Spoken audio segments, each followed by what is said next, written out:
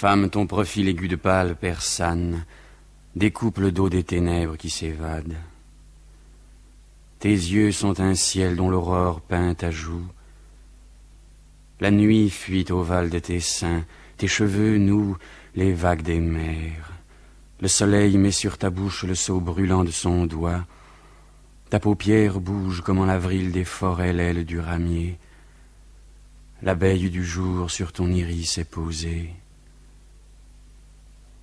Femme, l'univers me regarde conquérir l'espace à main ainsi que ton ombre garde humide.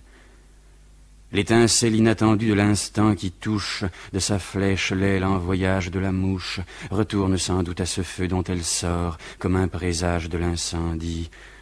Tout mon corps, déjà craque, accorde à cette saison vermeille les douceurs des lacs où se baigne le soleil. Fille du lait chaud, ta chevelure m'entraîne sous la roue ferrée d'un char d'automne cruel. Tes hanches penchent sous le poids des frondaisons, neige des fleurs et brasier des fruits si défonds.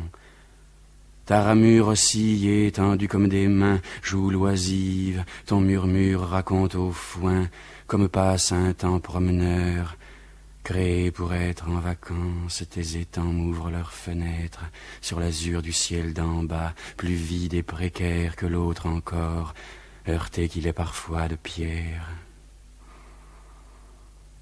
Femme, je n'ai pour me distinguer de ce monde que ton épiderme où le frisson de l'onde. J'y sens s'infléchir les joncs sous un vol d'ibis. Le ciel est si proche en toi qu'on le croit saisir. Mes doigts maladroits n'extirpent rien de cette eau. Lavés des courants, ils en ressortent plus beaux d'être inutiles. Pouvais-je avoir pire preuve de mon sort que ta connivence avec les fleuves? Le clair de lune de tes seins bleus se délivre des arbres brûlés de mes bras qui n'ont pu vivre. Ô Dieu, si mon cœur lui-même en moi me condamne, n'es-tu pas plus grand que les déductions de l'âme? Tu ris au-dessus des sept cieux terriblement, quand je frissonne de me voir nu dans les vents. T'apercevrais-tu déjà qu'étranger aux choses, je suis devenu plus familier de ma cause